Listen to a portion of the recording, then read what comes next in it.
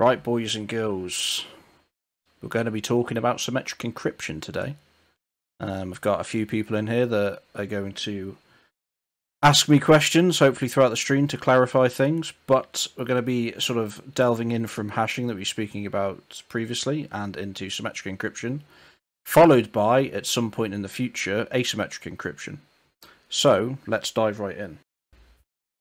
It's called symmetric. Actually, let's let's try and think of a really good way of doing this back in the very historical Roman times, and probably even when people were sort of like young and uh, when you were kids, you most likely wrote the alphabet down A, B, C, D, E, F, G, H, I, J, K, L, M, N, O, P, Q, R, S, T, U, V, W, X, Y, and Z. It's actually more letters than I remember.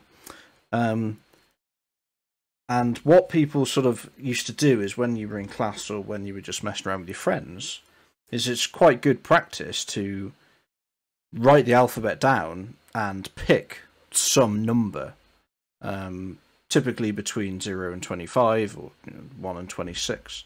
And the idea is this you, you have the alphabet and you have some message. You have some message. Just say hello for the message. And what you would do is you would pick a number let's say 5, and you would map the words or each letter in the word to another point in the alphabet. So here we've selected H, which will be the first letter, which is obviously here in the alphabet. Uh, where's H? Did I write it down? No H. Oh, it's there. My K looked like a H.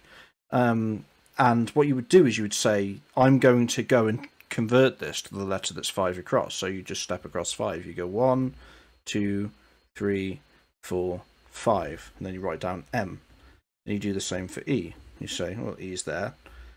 One, two, three, four, five. So it's J, and L is here. So it's one, two, three, four, five. And again, if I picked L, you would have one, two, three, four, five. Was it Q? Oh, God, was it M? L. One, two, three, four, five. Q again. And then O finally. We have one, two, three, four, five, and we have T. So what we did is we took the alphabet, wrote it down, obviously. We had a word, and then we moved across five characters for each character in our word hello. And it mapped to this word here, which is gibberish, obviously. But what's interesting is that it's very easy to undo what we just did. So if you take the output, which is, call it the ciphertext here, and you take M, and you go left 5 instead. So you start at M and you go one, two, three, four, five, and you get H. And then for J, you undo it again. You go one, two, three, four, five. Left, and you get E, and then you do Q. And from Q, if we move left five, we get one, two, three, four, five. And we get L. I'll fill in the rest of the message because there's no point me doing that over and over again.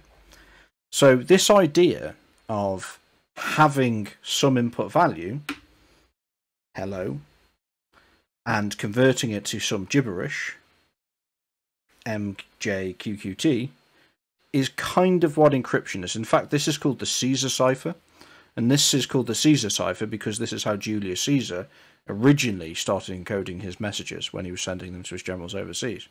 Now, obviously, this is a very easy cipher to break for many reasons.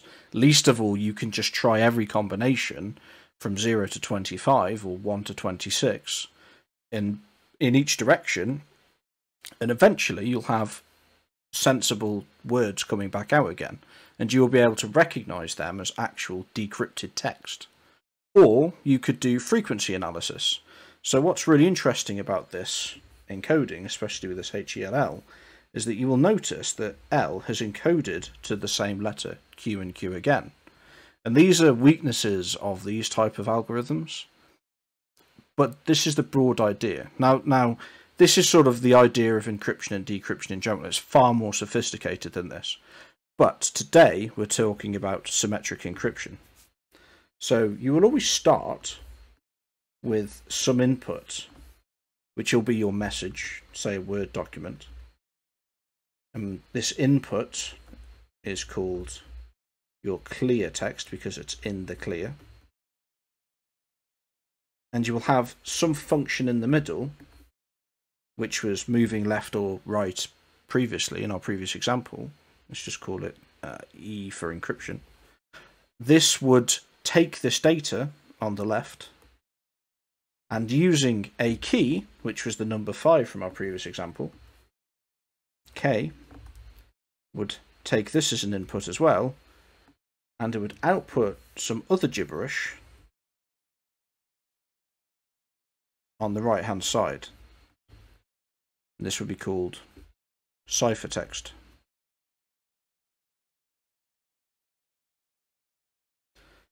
And what's interesting about this is that when you want to do the opposite or undo this ciphertext, because there's not much use you encrypting input or your clear text data and getting gibberish out if you can't then hand your message to someone else and they take this same key and go in the reverse direction. So they should also be able to have this secondary function applied to it using this key again, so that you have the input of the key from this ciphertext, and then you get back out the clear text. And the important thing to realize is that you to go forwards to from the clear text to the ciphertext and to go backwards from the ciphertext to the clear text is always a operation you can undo. It's not like hashing as we've previously said. You can go in both directions. But the important point is, is that in both of these cases, you need this key here. Now, in symmetric encryption or symmetric cryptography, the key is the same in the forward direction, or to encrypt the message, as it is in the reverse direction to decrypt the message. There's only one key. This is exactly like when you have a zip file and you put in a password or when you have a Wi-Fi pre-shared key and everyone types in the same shared key. That is symmetric encryption. You're using that data to encrypt stuff and it is always the same key that is the input. Now that key can change forms and be derived into different things, but the important thing is, is that linchpin is always that same key. And that's where the symmetric comes from, because you have the symmetry from the input clear text to the output ciphertext that is always the same in both directions. So everyone okay with that? Yeah. Any questions? This should be pretty noddy stuff for you guys because you've been doing it for a long time. Mac, how come you said before as well when you you said um, about sort of like why did you think symmetric stuff wasn't used as much? Because it's not as secure. It's actually more secure. So how can it be more secure if one end's compromised, the other end is as well? Well, because secrecy and stuff like that. You can have perfect forward secrecy with this. You can just re-encrypt it again. The, I guess the important thing is to say that the key length with symmetric encryption, which I mean, it's a bit of a sort of advanced topic, but the key length for symmetric encryption can be much lower than asymmetric encryption. So if you turn around and say a 256 bit AES key is as strong or stronger than a 2048 or a 4096 RSA key. In fact, elliptic curve, no, actually, that's not wrong. So elliptic curve is different. So that is asymmetric. But the key lengths for symmetric stuff are a lot lower than they need to be for asymmetric encryption. So easier to brute, even though ridiculous numbers anyway. Well, there's more weaknesses with, I don't want to say it, but it's like asymmetric stuff, I guess, in a sense, is more weak because you can break larger keys easier. I wouldn't say that brute forcing was necessarily easier because the key lengths are really big, but the mathematics of using them makes it sort of simpler in a way to be able to break them. There's kind of like more weaknesses in them, sort of fundamentally. And they're also when people also talk about quantum computers, they are largely referring to breaking asymmetric encryption, not symmetric encryption.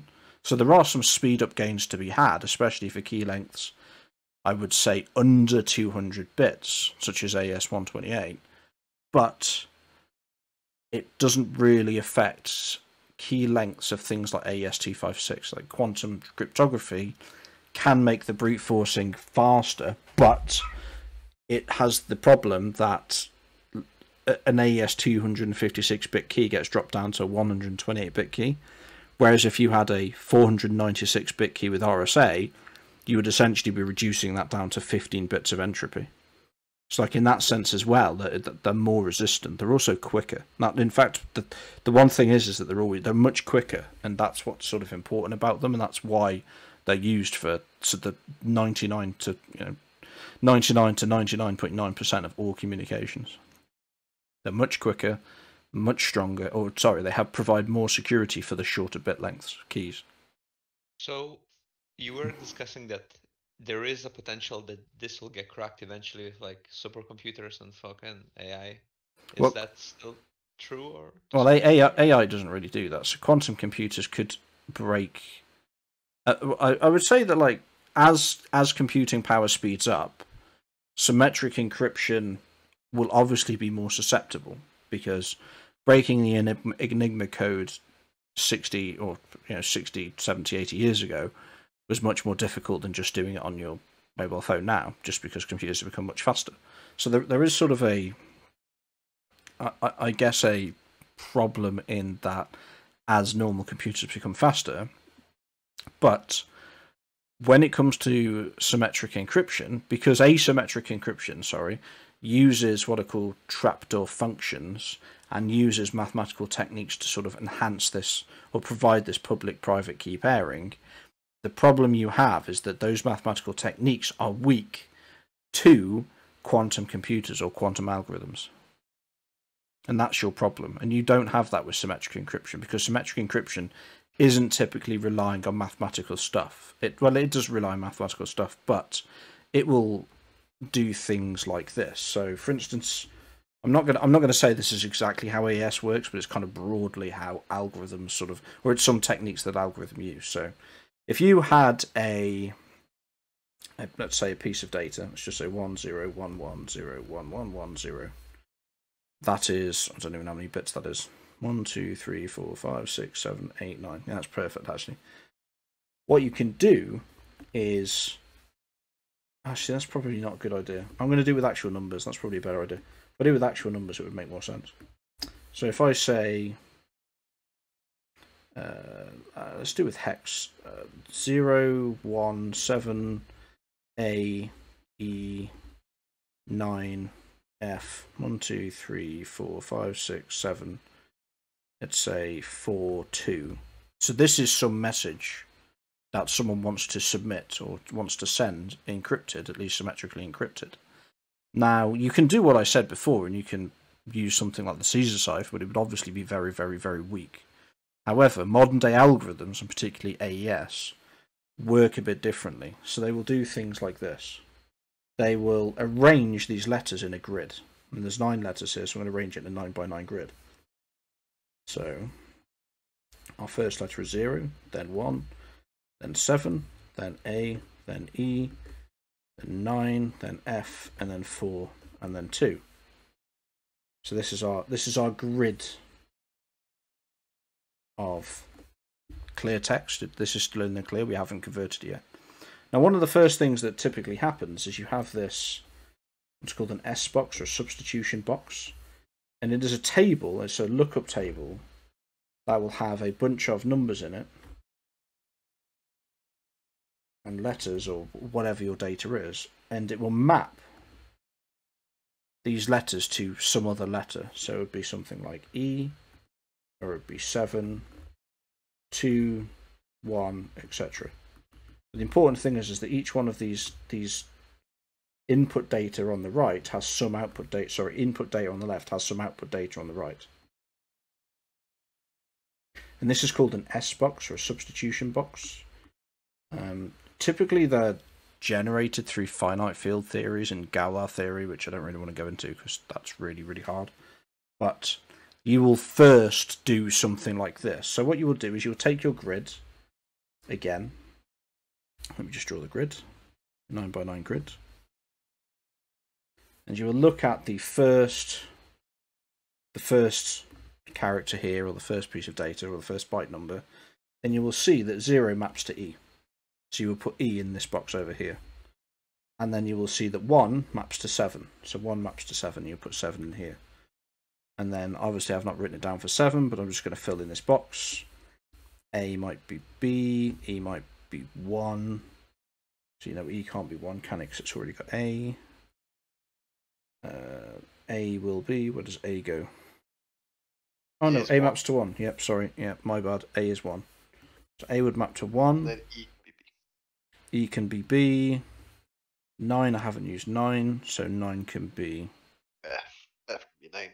F can be 9, that's fine. 4 F can be can be 7. 9, 4 can be 7.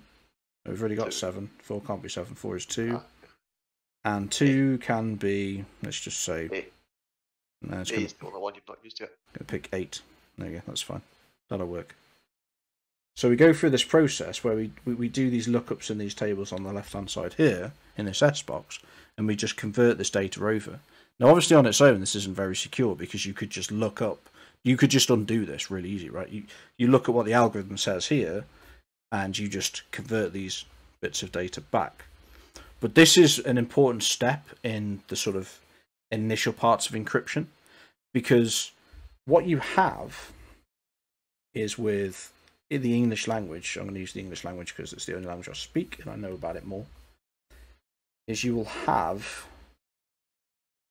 a. So, does anyone know what a histogram is? Incidence of words in the language. That is what I'm going to draw, or letters, but The histogram is the count of how frequent letters and numbers appear. So Yeah. looking for stuff like E's, I's, or TO's together, get like of letters. Yeah, frequency analysis. Yeah, so, so kind of what you want to do is when you're first sort of uh, doing something like this and doing this mapping, is that you'll, you'll tend to find that things like E are the most common letter in the alphabet, and they will group around sort of particular areas. And what things like S boxes allow you to do is that obviously you, even though you're sort of like grouping, even though you're doing like a straight conversion of the letter, you're at least in some respect changing the frequency to be something else. Um, and it, it obviously on its own it's very very very weak, but you kind of have a bit of a better distribution for encoding data in the future for the next steps. Yeah, but at the same time, you could use that because Or you if could use a know histogram that- to if reverse that, yeah. the most You- users, you know, it's, uh, Yeah, you could. Yeah, you could. But as I said, this isn't secure on its own. It's when you have the extra steps, it makes it a bit easier to work with, or it makes it more secure to work with. 100%. Yeah. So what I'm going to do is I'm going to delete this original sort of box here,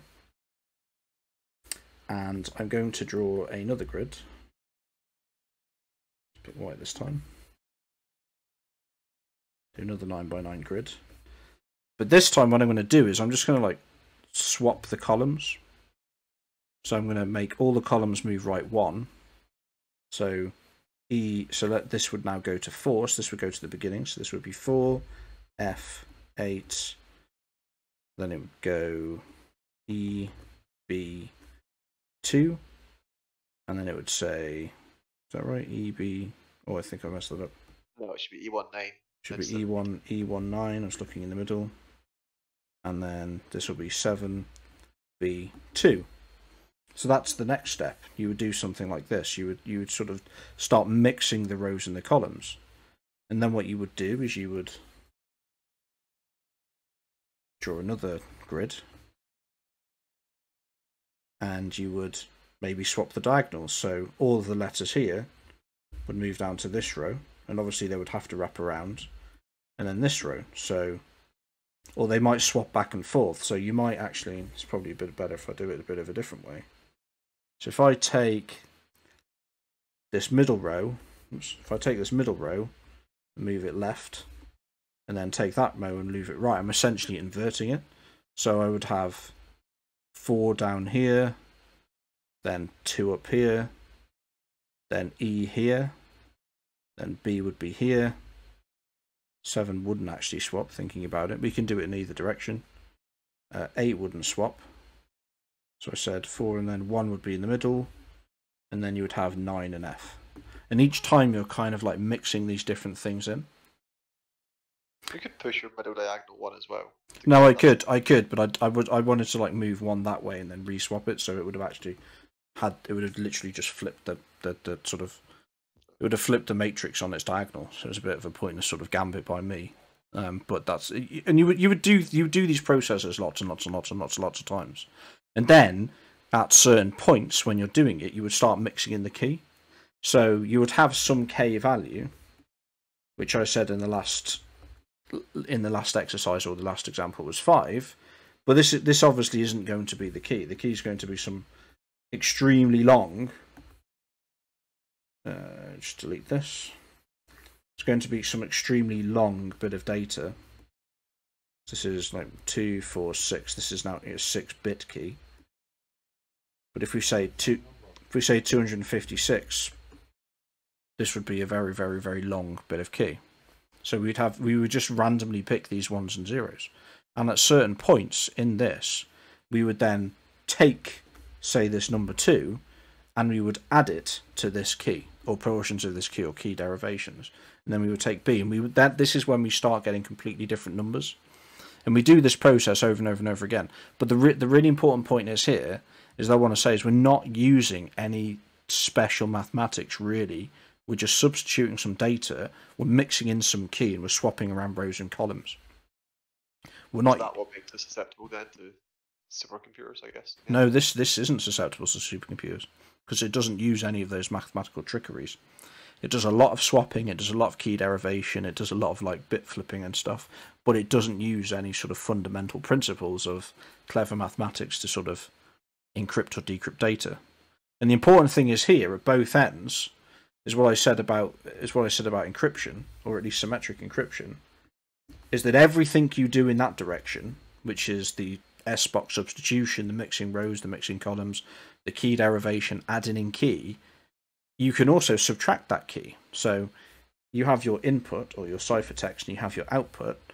But if you had that key, that original key, right, it's very e you know, it's it's trivial to actually go in the reverse direction.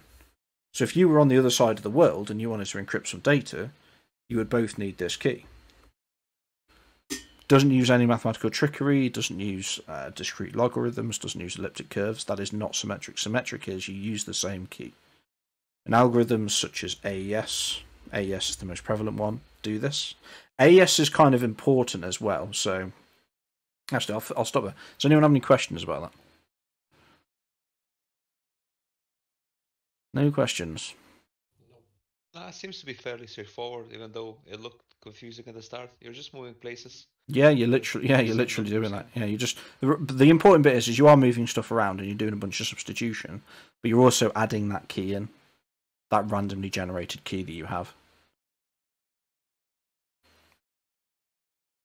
Cool. So, but can can this still be brute force though? Yeah, it can be brute force. Like oh, every key can be group brute force, right? Yeah. Everything has a key space. If you yeah. try every value in that key space, you're going to get the correct answer. Yeah, it just will take two billion times long, longer than the entire length of the universe to do it. So, what is the.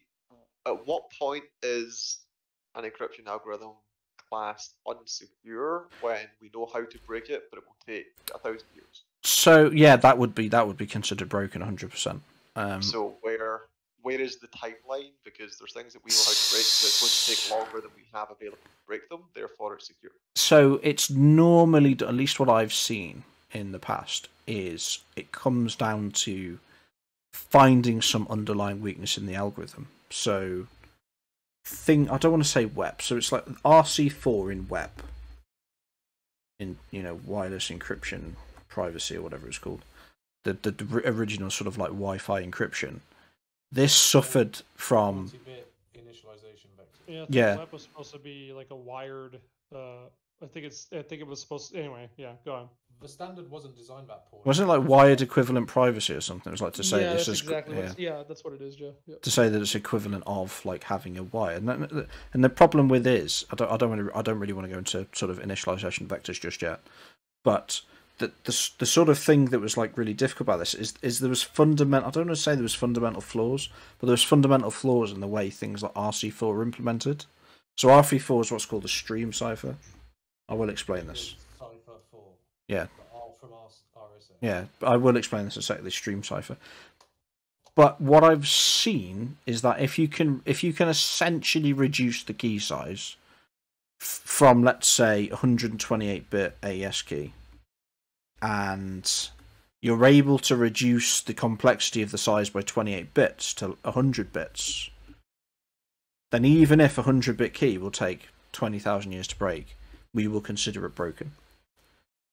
Because even though it might take 20,000 years with our current processing ability, if we used, if someone found a way to use all the supercomputers in the world, then that's significantly reducing it. And then as power of computers increases, it's going to sort of last a bit longer. Because you can even imagine if you had like government secrets and they wanted to keep them top secret for 500 years, you can't you can't have guarantees about what computing power is going to be around in 500 years, and all of these things are going to be stored on disk. So you need to make sure that, e- and, and not even just on disk.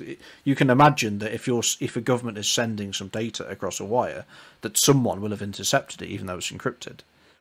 And even in 500 years, there might be some secrets that they don't, or governments and people don't want to sort of be exposed because the computing power has caught up with the sort of state of the algorithm. So I wouldn't necessarily say it was in terms of years. That'd be quite difficult to sort of say.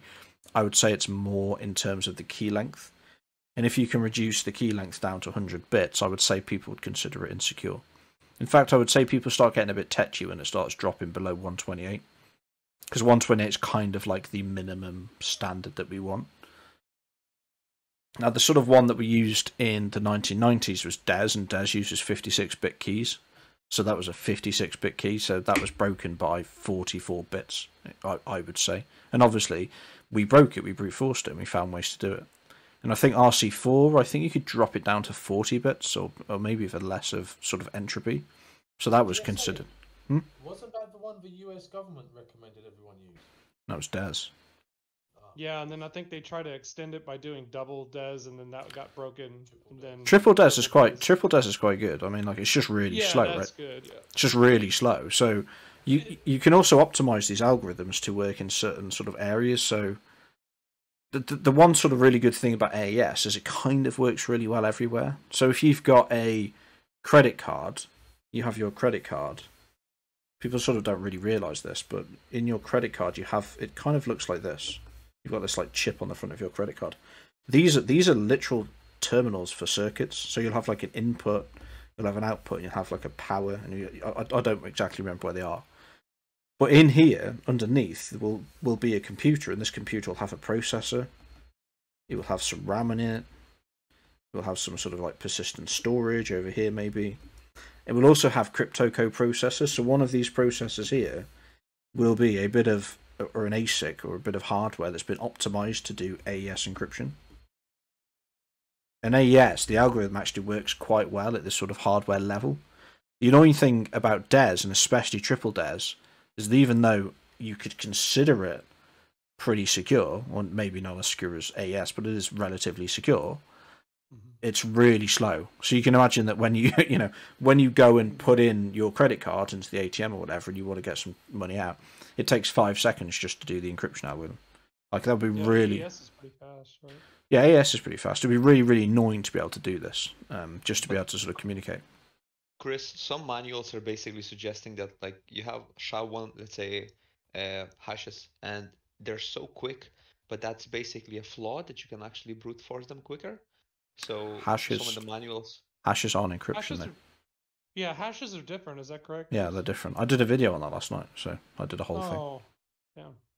So they basically were suggesting that you swap to something, let's say bcrypt, that's a lot slower, and it's like you can throw, you can have uh, a lot less attempts per minute or like per second at brute forcing it, making it a bit more secure compared to let's say MD5 or SHA. Yeah, I mean that is correct with hashes, but this isn't hashing. This is encryption. Oh, They're different apologies, things, yeah.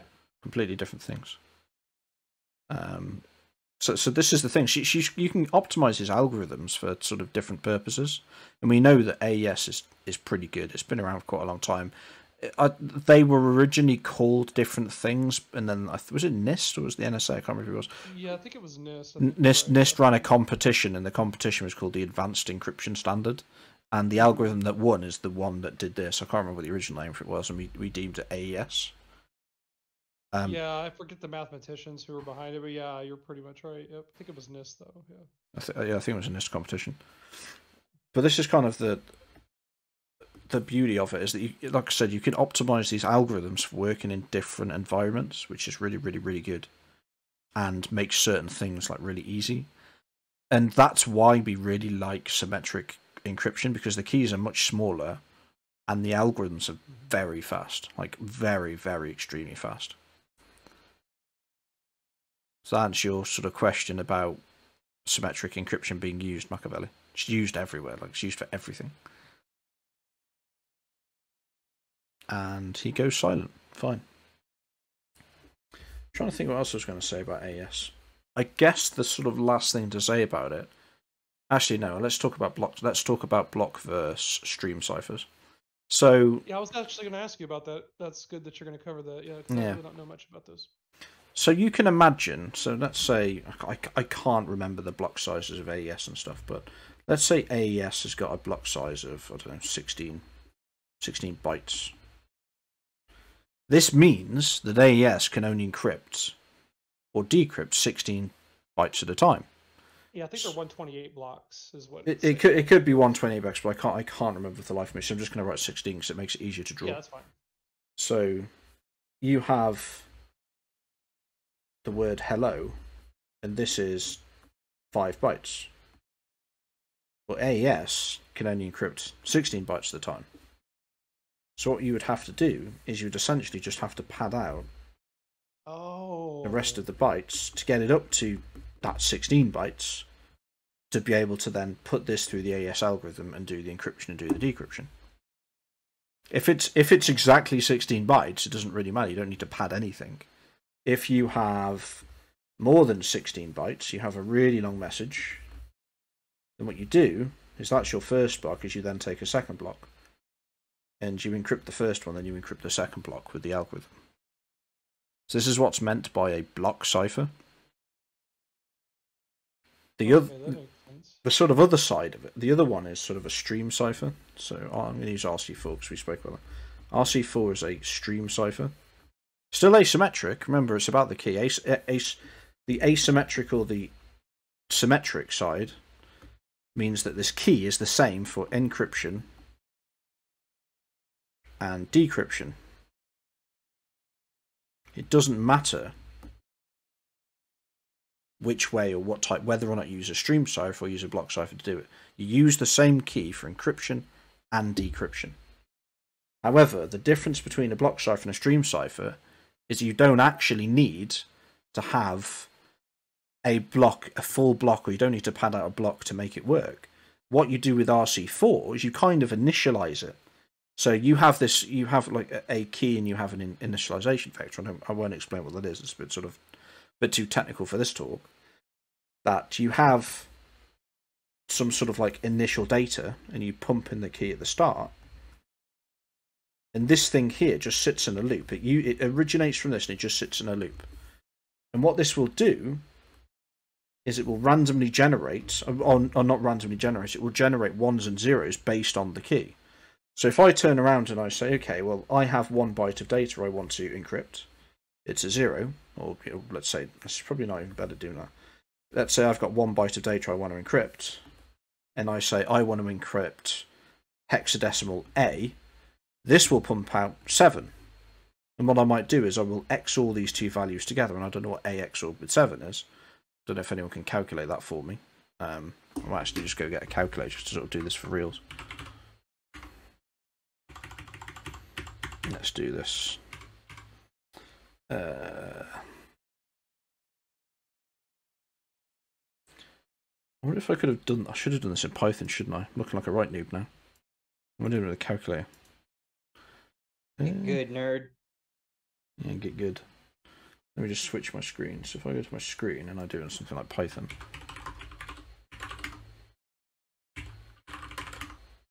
And I say, was it 0xa? What did I XOR with it? Uh, 7. 0x7. The result is 13. Actually, that's not even hex, is it? Uh, it's going to be annoying. So the result is 0xd. So we know that this this this A here XORed with 0x7 is going to result in 0xd. So this is this is the new ciphertext. However, the next time we ask for a bit of information from it, so our next character might be 3. And what I do is I say, "Oh, I need I need another piece of data. I need another byte from here." And it might say, "Okay, uh, let's give it 9." So it gives me 9. I XOR these things two things together. And again, this is why I need one of those quick switch things.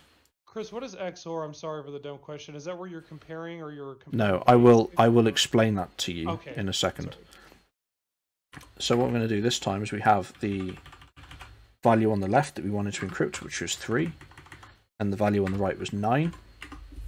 So the result is A. So our result is A. So this will equal A. 0xa. So our ciphertext for these sort of two bytes of information is DA. But the important thing here is that we're not we don't need it to be in blocks. We're just saying every time I ask you, give me a new byte of information. And this is a symmetric encryption because when I need to decrypt this information here on the right, uh, is that right? Oh god, I need to get my key back, don't I? I shouldn't have deleted that. Keep that. When I this is my key nine fine. When I get this information on the right hand side, I basically configure this algorithm the same way. So if I'm decrypting the traffic now, this traffic's coming to me over here. I'm receiving it, and I also know what the original key is. So I set my internal key or my internal loop and assign it to this this bit this uh, key here, this um, bit string, and then I take 0xd and I XOR it with 7, and out pops 0xa. And then I do, actually, no, that's not right, isn't it? It was 0x. So 0xa? Yeah, it was 0xa. Yeah.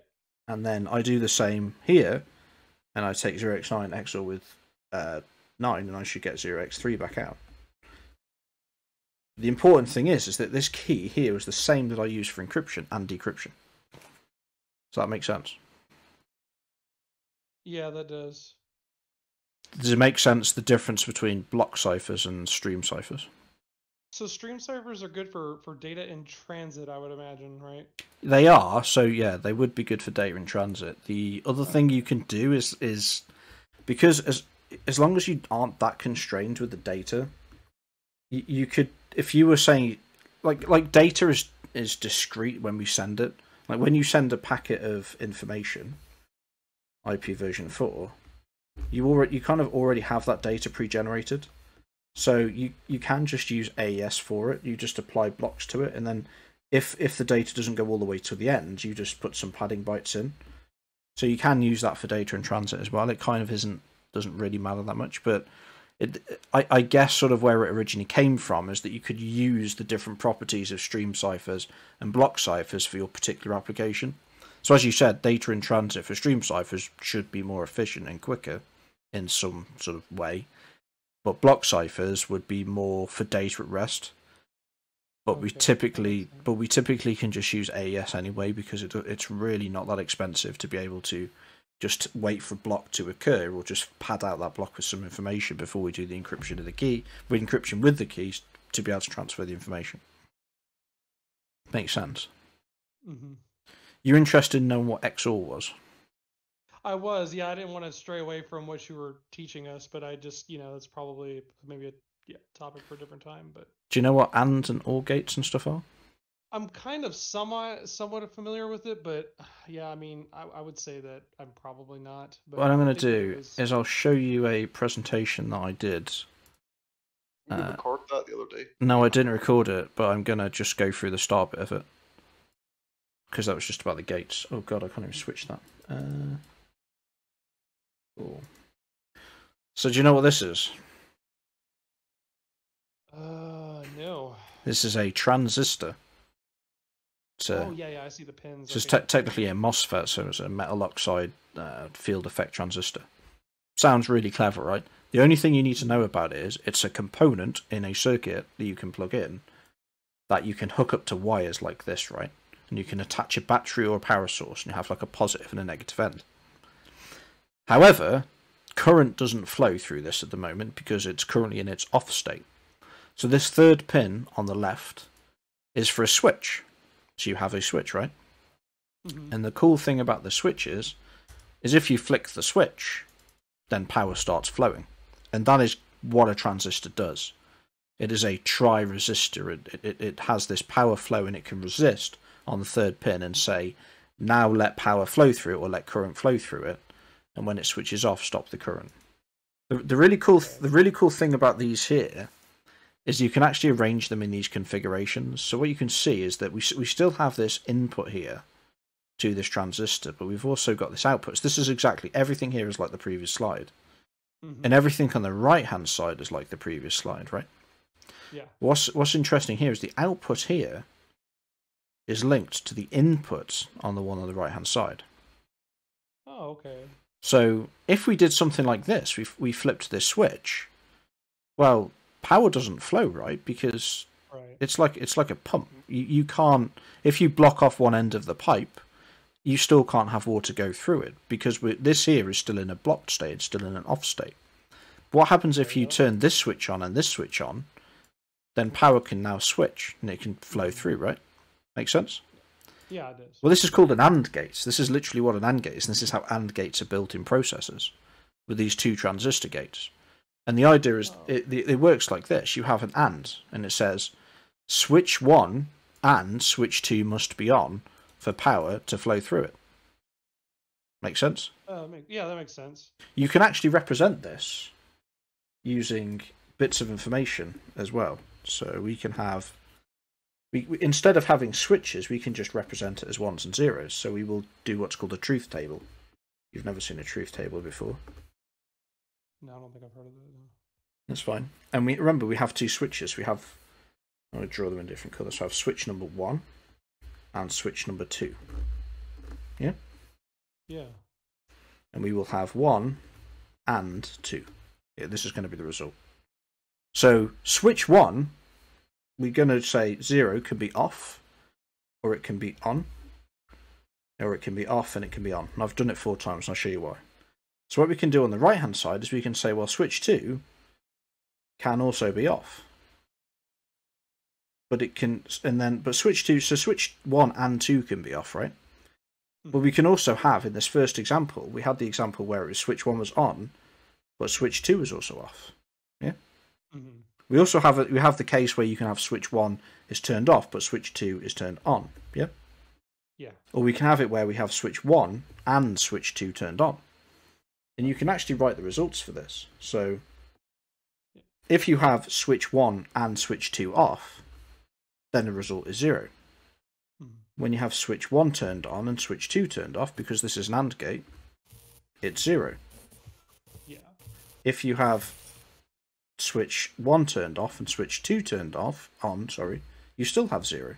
The only configuration where you get 1 out at the end is when switch 1 and switch 2 are turned on, and you get a 1. This is this is this is power is now flowing flowing through the circuit. Makes sense. It does, yeah. So you're probably gonna laugh, but I, I play this game from time to time. It's uh, Minecraft does something similar with Redstone when you make circuits. It's actually uh it's actually kind of similar uh, where you're doing switches and making gates like that. So I guess it's still the same concept in in binary. Um, it sounds like that's the same thing. I th- yeah, So is it that is. using- It is. So yeah, that's that's using uh, it's called bit level. I guess bit level or transistor level logic. It's it's the fundamentals of digital electronics. Using redstone in Minecraft is exactly the same. Freddie, can you turn your mic off or something? You're just making loads of noise. Fre- Freddy, is that Freddy? Yeah. Okay. Yes. Yeah. So okay, that makes sense. Yeah. So is that using Boolean logic or is that Yep, completely different? This is Boolean logic. Okay. Cool. So the the other type of gate you can have, or there's a couple. Um, is this one. So instead of having the output go to the input of the one on the right hand side, you can have the output that's just linked to this wire here. So what you can do is if you have this switch turned on on the left, then power will just flow through because it can freely flow to the ends and you get this one. You can also have this other case where this one on the left is switched off and the one on the one switched on on the right is on. And power will still flow. So you can either have switch A turned on and power will flow, or you can have switch B turned on or switch 2 and power will flow. And this is called an OR gate, right? Oh shit, I, I just forgot, I didn't realise. You're not showing that screen, by Why did no Well, I one mean, I'm- show I'm tell me? Why did no one tell yeah, me? no. Uh, Let me- sorry, let me go through that I again. was just listening. to No, it's fine. I, I, it makes sense. It makes sense. No one tells me they're not displaying stuff because I didn't switch it. Right. Let's go for that again. My bad. So this is this is the other configuration, right? So you have two switches and you have two transistors. And on the left hand side, this is like the previous configuration. You have an input and it goes to this wire in the output. But the difference here is that the input on this side isn't from this switch on the left hand side. And you have this case where you can turn switch number one on and power will flow because there's nothing impeding it or stopping it. Or you can have switch 1 off and switch 2 turned on and power will flow in this direction. And the important thing to realize is here that you can have switch 1 on and power will flow, or you can have switch 2 on and power will flow. Does that make more sense? Okay. Yeah, that does. Cool. So that's an OR gate, right? Because it's it's not you need one and two switched on. You can have one or two switched on.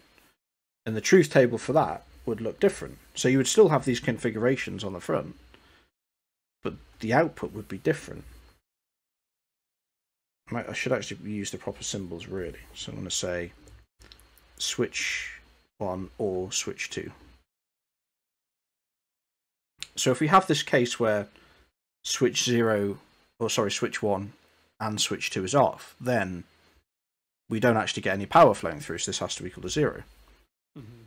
In this one here, switch one is on, and we do get power because switch one or two could be switched on. This one we have switch one on or switch two, so that power flows. And in the final one, it doesn't really matter, right? Because you can have either of them on and it will still flow through. Make sense? Yeah. So this is an OR gate. If I switch back. So there is a final gate to tell you about. This is got one switch that's important. And what's important to realise here is that you have some kind of resistor in the middle. But the important bit is, is that any information or recording of any values will be on this lower um, piece of the circuit here. So by default, if power comes in here and goes through this resistor, this will actually this is the default state. Power will flow through it. There's nothing stopping it. Obviously, there's a bit of resistance in the resistor, but it can't flow up and through this transistor because it's currently turned off. Which means when the switch is off, power is flowing through the circuit. However, you can actually switch this switch on, and a bit like water, as it will go through the path of least resistance it will actually stop going through, or less power or less voltage would flow through the circuit at the bottom, and instead it would flow through the circuit at the top. So it, when you have this switch on, it turns off the value at the bottom. And this is called a NOT gate. And the, the idea is this whenever the NOT gate is on, power flows. Sorry, whenever the NOT gate is off, power flows. Hmm. If you turn switch one on, power would stop flowing. And this is a NOT gate. So this is again has this different configuration. In fact, this is completely different. Yeah. It's probably better gonna I think this whole thing would be way different. Yeah. yeah, because we've, we've only got one switch. This is going to be our truth table again. Our truth table. And we only have one switch, so we just have switch one. And we have some output. This is the output on the left.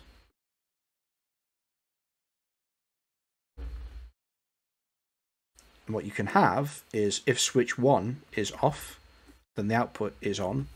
But if switch one is on, then the output is zero. And this is called a NOT gate. It literally inverts whatever value is there to the opposite value, just swaps it. Make That's sense? pretty cool. Yeah, it does. Cool. Let me just switch back quickly. I'm almost at the end of this.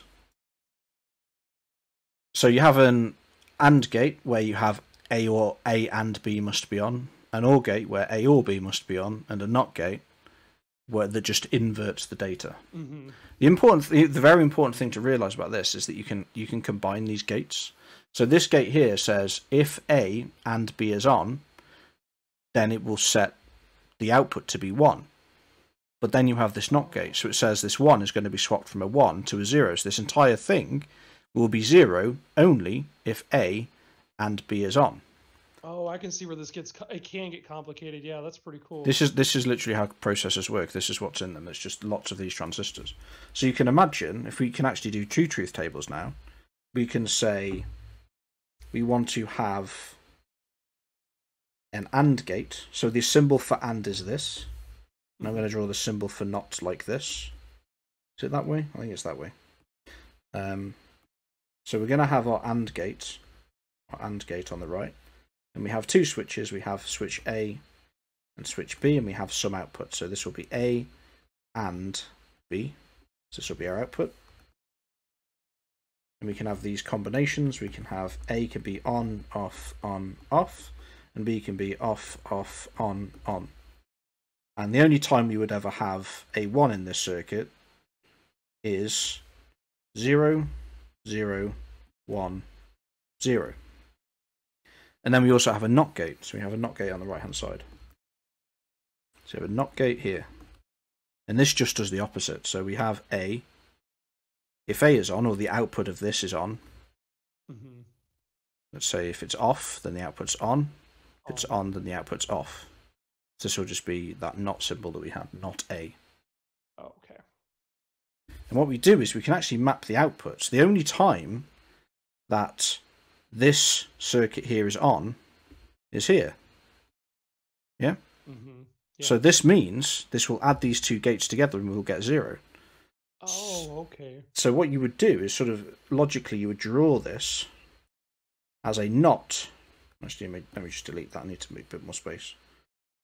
So you draw this as A and B, put some brackets around it, but you draw this not in front of it. And not just that, oh. you also put an N in front of here, so it's a NAND gate. And what this would do is because it has this inverting effect, because we've got this NOT gate on it, it would change all of these values. So it would say when this is off, this would be 1. When this is off, this would be on. And this would be 0, and this would be on. So it would invert the output of the gate. But we could only do that because we could combine them. That makes sense. It does, yeah. So there's there's another thing to say with OR, and this is the really important thing bit about XOR. So in the English language, there's not really a very good way to describe OR. You could say I would like salt or vinegar on my crisps, or salt or vinegar on my chips, right? Mm-hmm. But you can have salt and vinegar on your chips, yeah? Yeah. So that's called just a normal OR, or an inexclusive OR, because having one doesn't stop you doing the other, right? Yeah. But if you're going on holiday and you say, I could go to Mexico, or I could go to Spain for my holiday, you can't do both of those things at the same time. Because if you went to Spain, you can't go to Mexico, and if you went to Mexico, you couldn't go to Spain. So that's called an exclusive OR. So if I if I we should really to make it very very clear, we could have an I OR, which would be an inclusive OR. This is the, the, the salt and vinegar on your chips. we could have a X OR, which is I can either go to Spain or I can go to Mexico. Oh, okay. So the truth tables for these, you would still have the same switches. You would have A, B, A, B. Remember, the important thing is, is that you can't do both of the things in an XOR at the same time. So we have the same configuration. We can have 1, 0, 1, 0 for switch A, 0, 0, 1, 1 for switch B. And again over here, 1, 0, 1, 0, 0, 0, 1, 1 on the right. And we can say that, much like we had before, salt and vinegar, right? We, we can have if A is on, then the entire circuit's on. Mm-hmm. In this configuration, both are off, so it's a zero. If it's on, either one of them's on, it's fine, so that's a one. And if that one's on, it's a one. However, this is this is an inclusive. It means that you can do two things at the same time, which is exactly what this, this case here indicates. It means we can do both of these things. But with an XOR, you can't do both of the things at the same time. So what we have in this one here is we have switch number A is on, which means that we have 1 on the output. In this case, both of them are off. But this is where the exclusivity bit comes in. You can go to Spain or Barcelona. So if you have 1 and a 1, then this is off. Oh. And then in the final bit, you have 1. So this is an exclusive OR because you can only do one at the same time. Okay. Does that make sense? It does, yeah. Cool. So that's an that's an XOR, and this is sort of the, the the final bit I want to sort of make out. What I'm going to do is I'm just going to I'm just going to give you some hex. So if we have a hexadecimal value of a, that will map to one zero one zero, and let's say you have a hexadecimal uh, value of nine. This would map to one zero zero one. These are the hex. So this is zero x a. 0x9 and the below here this is the binary format of it yeah Yeah. cool so what we do is we can actually arrange these so we let's say we have some key our our key from the bit is 4 and 8 so our key is 0x4 and 0x8 so the key here is actually 1 0 0 0 and this key is 0 1 0 0 because this is the binary representation of 8 and the binary representation of 4. And we do an XOR. So what you do is you have a look at these values. I'm going to use white. And you say, let's do 0 XOR 0. Well, the result is 0, right? hmm Because it's off and there's none of them are on. Well, in this case, we have 1 is on and 0 is off. That's fine, so that's a 1, obviously. Here again we have 0 and a 1, so we make this a 1. And in the final one we have 1 and a 0, so we make this a 1. However, this is a bit different. This one on the right is a bit different. So we have, at, least in the end bit, so we have a 1 on, and there's a 0, so there's a 1. Both of these are off, so it's a 0. Both of these are off, so it's a 0. The important thing is here is that we have a 1 and a 1. What will the result be? It'll be zero. it will be zero, right? Because it's a it's exclusive. It's that you know Spain versus going to Mexico thing. Yeah. However, there is a really, really, really important uh, property of this XOR. You can undo it, which is really, really, really, really useful. It's very, very easy to undo. So it's reversible. That's what it means. It's invertible. Oh. So if I deleted this data at the top, and I didn't know what that data was, I can just reapply this result to the key, and I will get back out the original answer. So zero and It's zero. like reverse engineering basics, man. Yeah. This is awesome. Zero and zero is zero, right? One and a zero here. What you know, one and a zero is one. One. a one and a one is zero, and a one and a one and a zero is one. So we got the same value back out. A is ten. This is eight, nine, ten. So we got the value back out. And we can do the same here. We can see that one and a zero is a one, One. zero, Zero. zero, and one. That's nine. This is invertible. This is what's really cool about those stream ciphers, or when I'm saying XOR, it, you can XOR keys in. You can just have this key, and you can apply it, and you can undo it by applying XOR again. That makes sense. That also, yeah, it does. That also explains why they're not exactly. Uh, I guess that's why they would consider those broken at some point in time. you I, know? I wouldn't say this is necessarily broken. This is just a way to combine key. Like if this data, if this key here was sufficiently random, it wouldn't be broken. Like, you, you could never figure out what it is, right? In fact, this is this is. I don't want to. It's kind of not true for me to say this is how a one-time one-time pad works, but you can kind of combine the keys in the same way.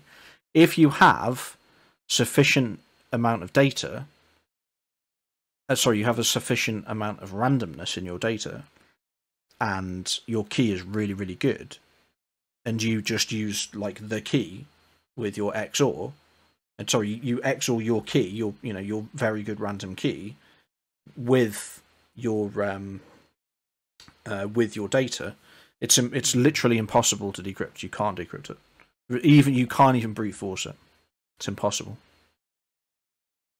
So it's kind of like perfect secrecy. But the problem is, is you need to share that key securely first, right? yeah. Because you you can imagine that if I, if if I was sitting over here in you know in in the UK, right, and you were sitting over here in the USA, and we wanted to, I wanted to send you a secure message using symmetric encryption. Well, we both need the same key in the middle. So you have some message you want to send to me, but first you need to encrypt it. So fine, you can use your key and you can encrypt it, and you get this encrypted message. Then you send the key to me, so I get this encrypted message over here. But I can't decrypt it because I don't have access to that key. So you need to deliver this key to me somehow over in the UK. But the problem is, is how do you securely deliver that key to me? You physically have, yeah, but that's talking about asymmetric encryption. But just in symmetric encryption, how do you get that key to me? In things in things like Germany, or sort of I guess World War Two, what used to happen is you used to have these books, these like code books, and just every day would have a new key on it, and that would be your key. And if everyone knew to use the same key on that particular day, then you could decrypt the traffic when it was sent to you. The problem. Somebody steals your book. yeah, unless someone steals oh, your book. Okay, yeah. Mm-hmm. If somebody steals your book and copies it, and you don't know they stole your book, you're fucked. So there was loads of raids on um, like German U-boats when they were going down. There's like British people, or, I don't say just British sailors, but, but you know the Royal Navy or the U.S. Navy would just dive into these submarines trying to get these code books out and then sink the submarine as quickly as possible so they've not had the chance to alert anyone because then the Germans would send at least for a few days until they realised that the submarine was you know had, had, been sunk and they'd be able to decrypt the messages and not just for that day they'd also so also for the previous day so this this code book's going to have all of the you know if this is today it's also going to have the previous days in so even if they change all the keys in the future and issue new code books well, it doesn't matter, right? Because we've already collected 20,000 intercepts from three days ago, and we can decrypt them and read the messages. Does that make sense? Yeah.